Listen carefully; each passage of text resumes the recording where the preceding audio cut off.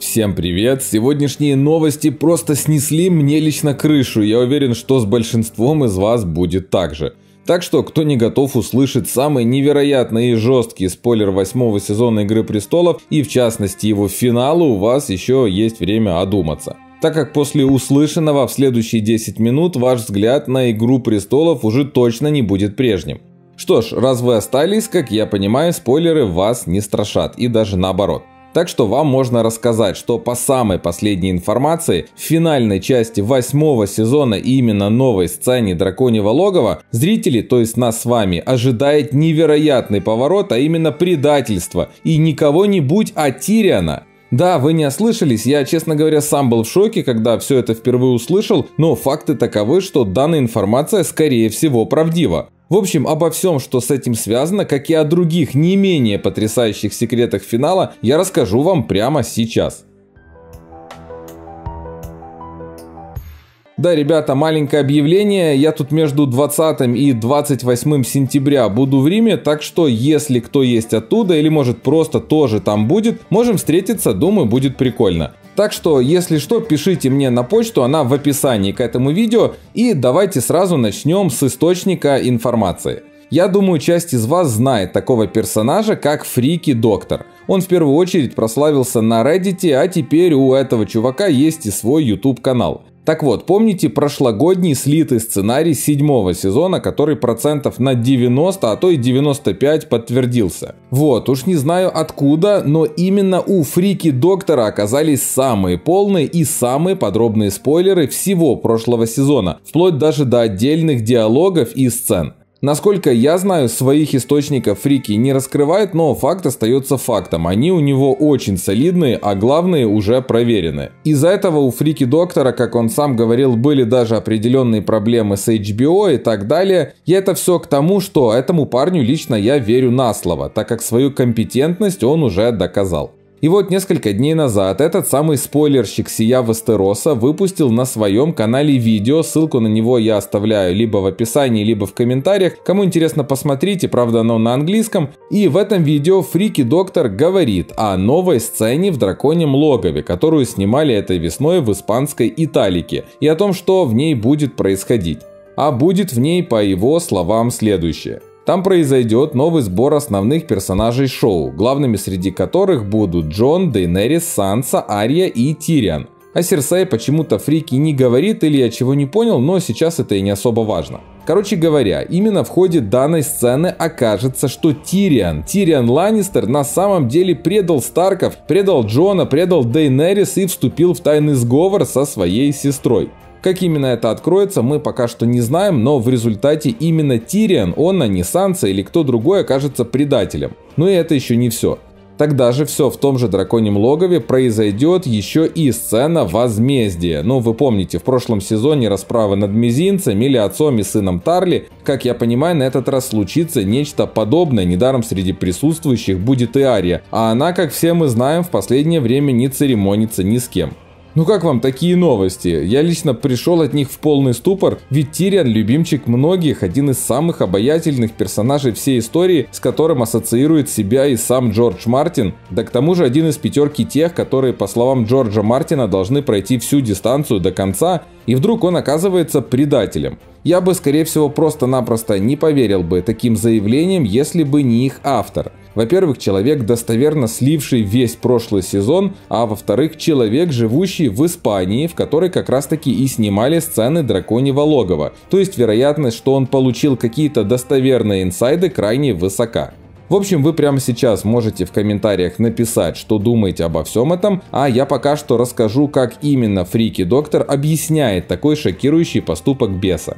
Дело в том, что тоже не очень давно в Entertainment Weekly вышло интервью Питера Динклэджа, в котором актер неожиданно для всех разоткровенничался и поведал всем, что его персонаж оказывается влюблен в Дейнерис. Да, именно так, что Тириан любит ее или, по крайней мере, думает, что любит. И не имея никаких шансов, для него это куда сложнее, чем обычная неразделенная романтическая любовь. А еще вся эта ситуация усугубляется тем, что Тириан, со слов Питера Динклэджа, по-своему любит и Джона Сноу. Ведь эти двое, отвергнутые своими семьями, они оба выбрали не те пути, которые от них ожидали. В общем, между Джоном и Тирианом много общего. Такой вот каламбур. Теперь вы, думаю, понимаете, почему Тириан вел себя так странно во время пресловутой сцены Джона и Дейнерис на корабле. Что тогда означал его взгляд и все остальное – ну и вот получается, что неразделенная любовь, ревность и другие смешанные сложные чувства вынудят беса в восьмом сезоне предать своих союзников и как результат поплатиться за это смертью.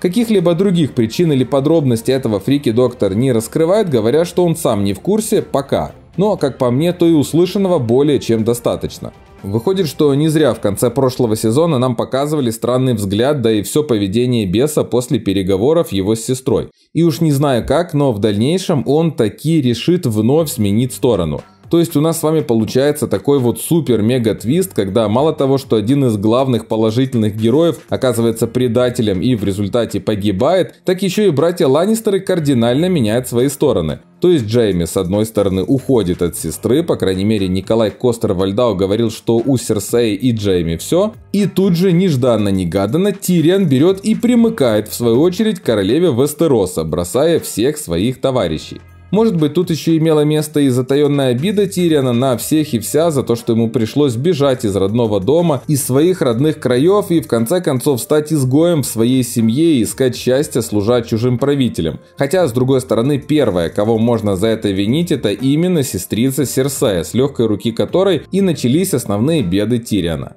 В общем, думать, гадать мы тут можем еще долго, но факт остается фактом. Даже не так, это пока что и не факт вовсе, но информация из очень проверенного источника, который, кстати, говорит еще кое-что интересное. Помните, тогда же весной этого года все мы обсуждали супер новость о том, что все ключевые персонажи сериала, а точнее актеры, исполняющие их роли, собрались в Италике для съемок Драконьего логова, а также других съемок неподалеку оттуда в Севилье. Тогда еще мы недоумевали по поводу появления в первую очередь безликих Якина и Бродяжки или Тома Влашихи и Фэй Марсей, ну и самое главное короля ночи Владимира Фурдика. Так вот, по инсайдерской информации, которой поделился с нами Фрики, HBO и шоураннеры сериала поступили именно так, как многие предполагали. В том смысле, что они просто-напросто собрали всех, кого тогда могли, для якобы участия в съемках, хотя на самом деле в этих самых съемках принимали участие только некоторые из них. Все же остальные, само собой, появились просто для отвода глаз, для подогревания интереса зрителей, создания интриги и самое главное для того, чтобы запутать следы, и мы с вами не знали, кого именно будут снимать, а кого нет.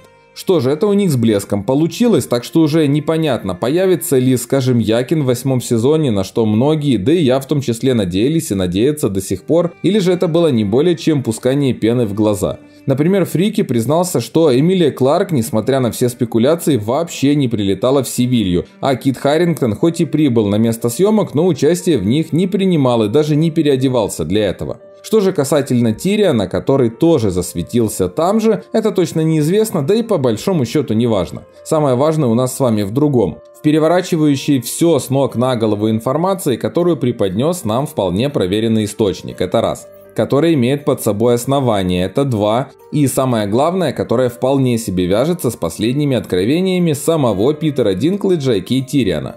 Так что все фанаты Беса, для вас новости явно неутешительные, но при этом все равно очень и очень интригующие. Что ж, нам с вами остается только ждать и думать, о чем же Серсая смогла приманить своего младшего братца, а также какое это возымет влияние на всю расстановку сил в Семи Королевствах. Ведь все-таки Тириан ни много ни мало а цельный десница бурерожденный, посвященный во все ее планы и знающий очень и очень многое. Понятно, что такой козырь в рукаве для Серсея будет совершенно не лишним, а как оно будет на самом деле, покажет время. Теперь в свете самых свежих новостей некоторые уже начинают думать, гадать, а не лил ли Тириан воду на мельницу Серсей еще в прошлом сезоне. Но вы помните, что именно слушая советы своего десницы, Матерь Драконов по сути растеряла все свое стратегическое преимущество, лишилась ключевых союзников и в результате не только не сумела добиться цели и взять столицу Семи Королевств, так еще и была вынуждена пойти на переговоры и альянсы с насквозь двуличной Серсей.